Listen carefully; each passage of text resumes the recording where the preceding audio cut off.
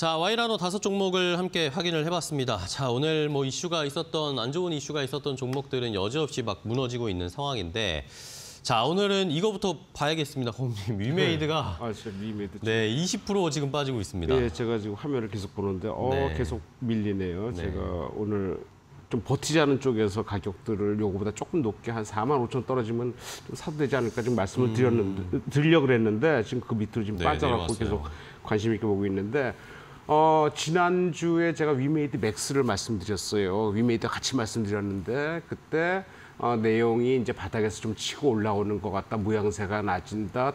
게임주의 대장주급이다. 거래도 많이 늘어났다. 그리고 P2E라는 새로운 그 이제 P2E라는 개념에 의해서 가장 먼저 시작될 것 같다. 위믹스 코인도 괜찮다 말씀드렸는데 어, 다행히 일주일 동안 잘 올라오다가 오늘 갑자기 급락을 네. 하는데 그때 말씀드린 그 위믹스 코인이 지금 문제가 됐어요.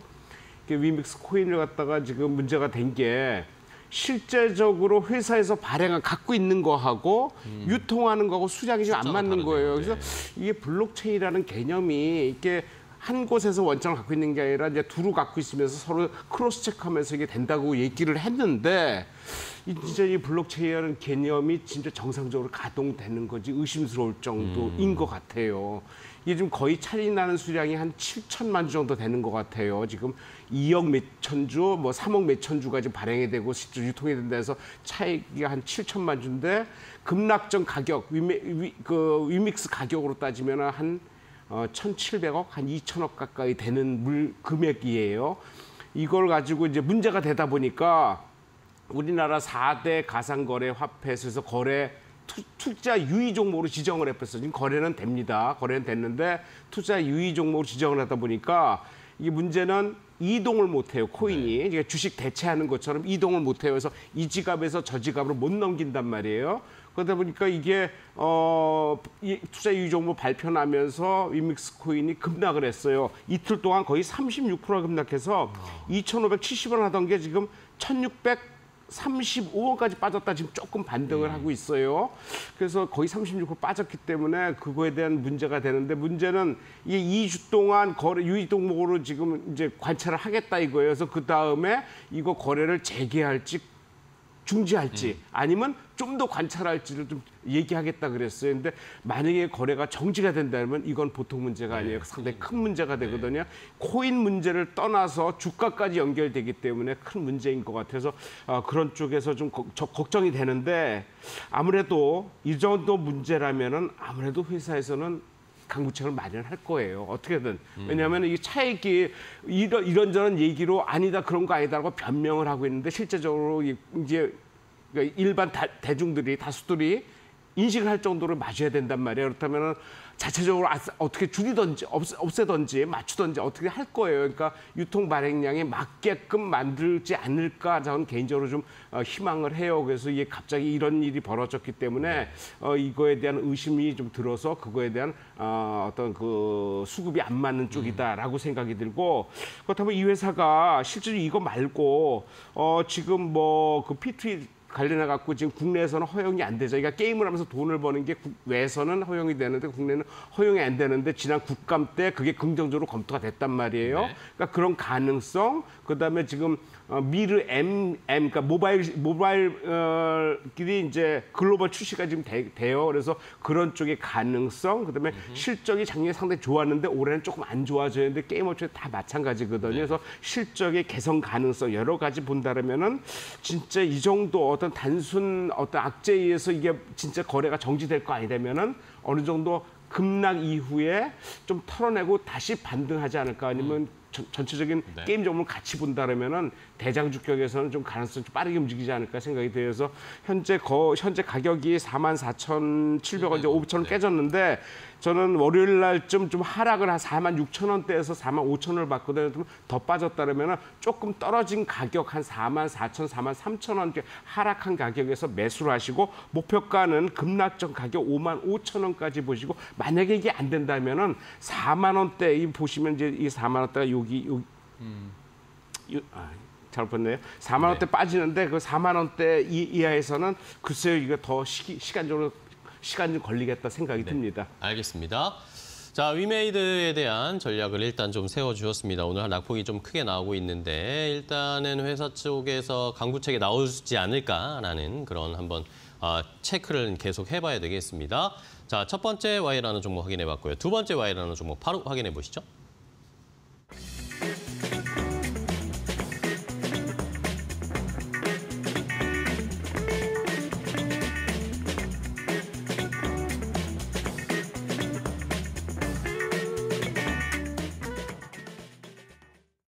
자, 두 번째 와이라노 종목도 함께 확인해 보셨습니다. 양지사입니다. 양지사 얼마 전에 뭐 품절주다 이러면서 또 급격하게 오르더니 이제는 또 빠집니다.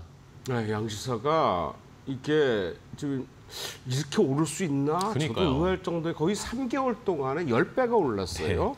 6,700원대 하던 주식이 6만 7천 원까지 갔기 때문에 좀- 조금 조정을 좀 보이고 있죠. 10배씩이나 갈 수 있는 주식인가? 이 회사가 실제 이렇게 좋아? 무슨 문- 뭐 내부에 어떤 큰 재료가 있나?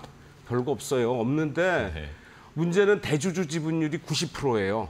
그러니까 거의 유통 주식이 없는데 거기에 5%를 슈퍼개미라는 사람이 매집을 했어요. 음. 매집을 하다 보니까 야 이거 완전히 진짜 품절주네. 품절주가 됐죠. 주식 없네. 어 그러고 지금 일반 투자들이 개미처럼 달려들었던 거예요. 그 하루에 거래량이 실제 유통 주식의 몇 배씩 거래가 돼요. 그러니까 뭐 바로 단기 매매 trading 쪽으로 지금 들어가 있는 거예요. 이럴 때 가장 조- 주- 우리가 어, 걱정해야 될 거 언제 이 슈퍼개미가 빠져나갈까 이거 걱정해야 되는데 그 눈에 찾을 수 있을까요? 제가 보기엔 못 찾을 것 같아요. 왜냐하면 이게 뭐 소수 계좌 거래 지- 소수 집중 계좌에도 지금 등록이 돼 있고 어, 투자 경고 종목도 돼 있고 스팸 과다 종목 그러니까 안 좋은 그, 그 어떤 그 거래에 미치는 악영향을 다 갖고 있어요. 어. 다 갖고 있는데 뭐 그거 관계없이 올라가요. 근데 다행히 이 회사가 그 실적이 실적이 작년에 어, 아, 다, 어 작년에 어, 6억 적자였는데 아마 다행인 건 아니네요. 3분기까지 9억 적자로 계속 나오는데 이게 어. 6월 결산 법인이에요. 그러니까 6월 결산 법인이 돼서 7월 달에 그 매매 내역과 아, 대주 5% 이상 올라가니까 대주 신고를 해야 되거든요. 거기서 이제 슈퍼매니가 나온 건데 이 6월 결산이기 때문에 이제 다음 결산 12월 안 나온단 말이에요. 어, 어떤 임시주총회나 뭐가 주- 주주명부가 폐쇄가 돼야 확인할 수 있기 때문에 그 전까지는 이 사람이 빠져나가는지 안 빠져나가는지 우리는 알 수가 없어요. 그냥 거래 추이 보고 바- 확인해야 되기 때문에 쉽지 않을 거라고 생각을 해요. 그래서 아, 그런 쪽에서 좀 어, 걱정이 되는데 어, 지- 제가 보기에는 어, 현재 상황이 이렇다면은 제가 별로 그렇게 여기서 달려들어서 먹을 게 있을까? 아마 trading 가능은 할 것 같아요. 올라가고 내려가면서 trading 가능할 텐데 상당히 위험한 상황이다라고 말씀드린다면은 웬만하면 좀 피하시는 게 낫지 않을까 생각이 들어서 저는 손절가를 어, 한 4만 원 정도로 생각을 하고 만약에 그 이하로 떨어진다면 그거는 어, 좀 어, 유심히 좀 보면서 과- 어, 좀 위험 부담을 좀 가져야 되지 않나 생각 이 들어요. 어, 현재 네. 보는 게 주봉 차트인데 여기서 이 거래가 상당히 떨어졌거든요. 네네. 이 밑에 4만 원에서는 제가 보기에는 위험 신호를 좀 감지하셔야 되겠다 생각이 듭니다. 알겠습니다. 자, 양지사 품절주로 최근에 핫했는데 이제는 조금 도망쳐야 할 타이밍이 오지 않을까라는 의견을 주셨습니다. 자, 마지막 와이라노 종목도 바로 공개하도록 하겠습니다.